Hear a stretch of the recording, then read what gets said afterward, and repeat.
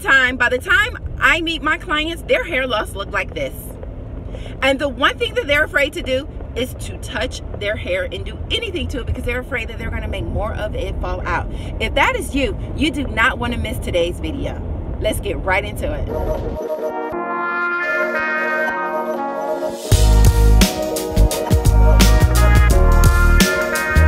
Welcome back, Growth on the Go. If you have stumbled upon this channel and you are new here, hi, how are you? My name is Talitha, aka the Natural Hair Confidant, here to give you all of the tips, tricks, and techniques that you need to be able to reverse your traction alopecia for good and to never let it happen to you again. So if that is something that interests you, my dear, make sure you hit that subscribe button and make sure you hit that post bell notification so you know exactly when I post another video that can help you with all the tips and tricks that you need to reverse your traction alopecia ASAP.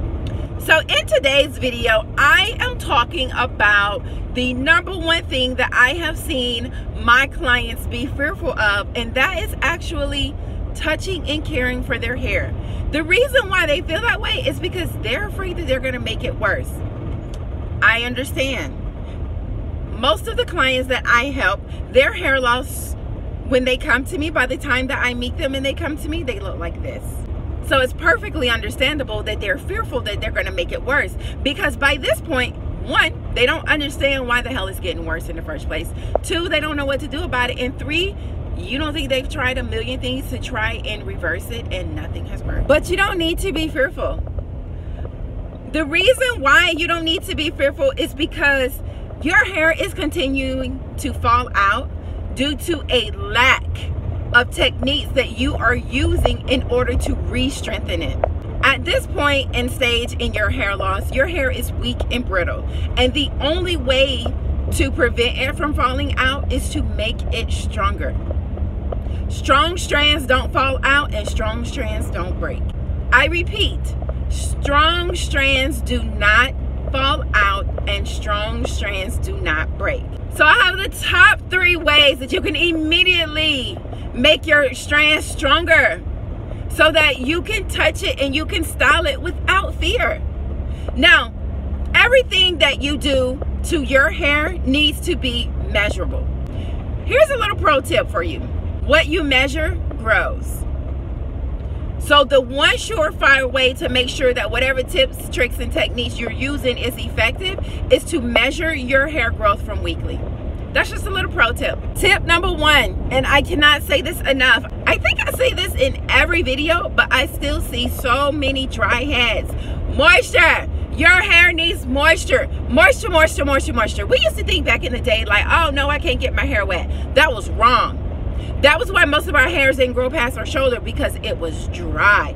Your hair needs moisture. It needs moisture every single day. If you are one of the fortunate people, not like myself, who do not have to put moisture in their hair and it still looks all lovely, great. For the average African American black woman though, she got to put some moisture on that thing every day. Every day moisture moisture moisture. If you have a moisturizer that is not making your hair um moisturize you might need to make sure that it doesn't have any no-no ingredients in it. Or it may not just be effective for your hair type and you should change it. The number two tip protein. Your hair needs protein. It needs to have strong building blocks within its strands how does protein make your hair stronger? Let's dive a little bit deeper into that. I'm not going to geek out and get all sciencey on y'all as much as I can. The hair is made up of 95% keratin, which is the strong protein that is destroyed from wearing your wig.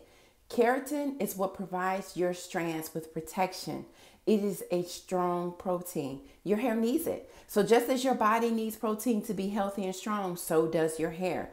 So if the one thing that your hair is made up of is destroyed, then clearly you're going to need to replace it. It won't be strong without it, especially because it's 95% of it.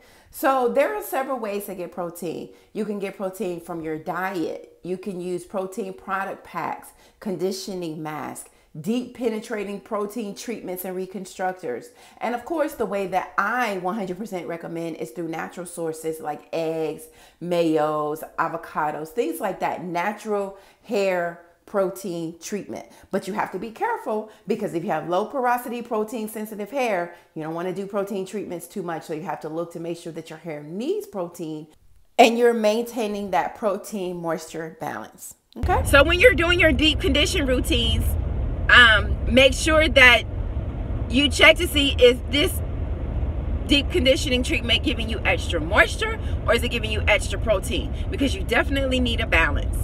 And the way that you can tell is you have to listen to her. If she feels mushy all the time, she's too moisturized. Mine don't never get that way. If she's too dry and too brittle and nothing's happening, then she might have too much protein. You have to listen to her speak. You have to listen to her when she speaks.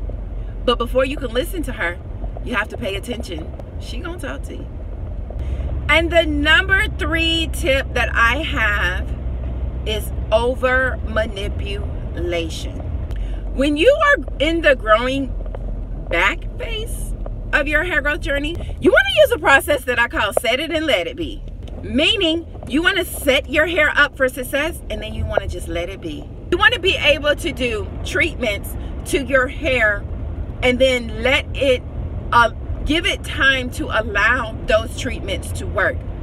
So, for instance, in the push through program, what we do is we pick a day that we're going to do our treatments. And so, for example, let's say on Sunday, that is my off day. That is the day that I cook. So, in between cooking, I'm also doing my hair. I've set aside the entire day for do that to do that. So, on this day, what I would do is I would deep condition, I would detangle my hair and then I would put it in a protective style. And I would try to let that protective style stay untouched for as many days as possible. Now, the hard thing about this is like I said, most of my clients look like this. And the bad thing is, is they have yet to be able to graduate out of wigs. So they still have to touch it daily. But because the treatments that we're doing is to hold on to the remaining hairs that you have and stop the spread in its tracks. The entire focus is to stop hair from falling out. You can't focus on regrowing hair back until you stop it from falling out in the first place. Because if you're trying to grow hair back and it's continuing to fall out,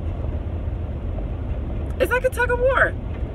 So I hope you found all of these tips amazing and that they help you stop your spreading hair loss in its tracks so that you can be able to fill in your bald spot. If you like this video, don't forget to subscribe. And if you know somebody that could benefit from it, make sure you share it on all platforms, The Natural Hair Confidant or either My Hair Confidant. Get at me. And while you're at it, do not forget to go over to my website and pick up your free hair growth blueprint that goes all in depth of how to take these YouTube tips and turn a thousand tips into a thousand new growth. It goes in depth specifically on how to care for your hair, specifically for your type, how to get more moisture, how to make it stronger, way more in depth. Because honestly, why watch all these YouTube videos if you can't take that information and do something with it, right? So I hope to see you there. Until the next time, I wish y'all the most growth. Take care.